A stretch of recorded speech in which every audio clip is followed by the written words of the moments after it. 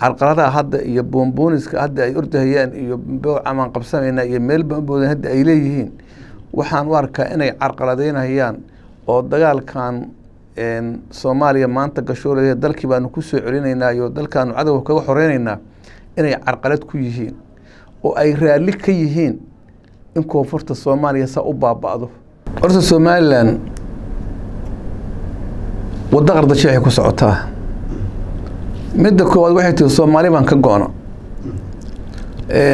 dhul baanu leenahay. Dhulka horta ma ingiriis baa iska dhulka so dhul soomaaliyeed maahan ingiriis waddan buu xukumaa. Meel hebel annagaa degan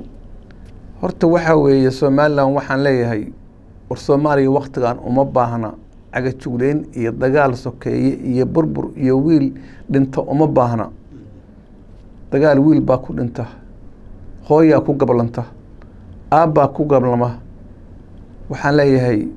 soomaaliya nabadeeda ka qeyb qaata soddon iyo dhowr sano baad waxaad u taagnaydeen sooma waan go'aynaa adduunkiina idin aqoonsan waa soomaalina soomaali ma kala tagto.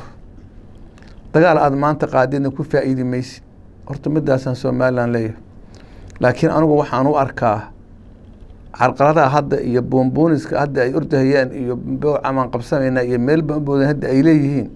waxaan u arkaa inay carqaladeynayaan oo dagaalkan soomaaliya maanta gashoolaya dalkii baanu ku soo celinaynaa iyo dalkaanu cadowga kaga xoreynaynaa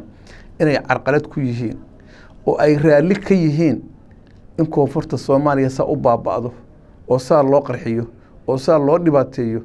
oo ay rabaan inay tashuush xagga kaga furaan. Maadaama heshiis halkan la galo yiri dhammaan maamuladu waa in la iska kaashadaa dagaal wadajira waa in la qaadaa oo nimankaas laga saaraa dalka laga saaraa ama buuraha galgale ha ku jiro ama bariga fog ha joogeen ama koonfurta ha joogeen inay kaa carqaladeynhayaan oo ay rabaan inay maaragta weji kala sameeyaan anugu taasaan aaminsanahay. Soomaali badanna taa waa aaminsan tahay inay ku carqaladeynhayaan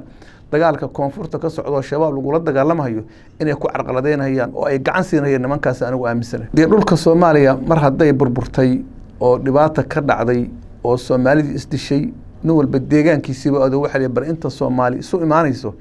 nin walba deegaankiisiu dib isugu laabta deegaan deegaan baa la kala degan yahay. Dhulka hadda nimankan somalilan ku soo duulahayaan oo ilaa sool iyo sanaag ay ku soo duulahayaan horta waa dhul sharciga dastuurka puntland ku qoran in puntland leedahay oo la isku darsaday maamulka la isku darsaday laakiin khaladka ugu weyne meesha yaalla waxaa weeye dadkii deegaankaa deganaa baa labada dhan u kala qeybsamay qolana halkaani puntland bay joogtaa qolana halkaasay joogtaa qola xaggay ka soo riixaysaa qolana halkaanay taaganta marka dhibaatada ugu weyn waxaa weeye dadkii deegaanka deganaa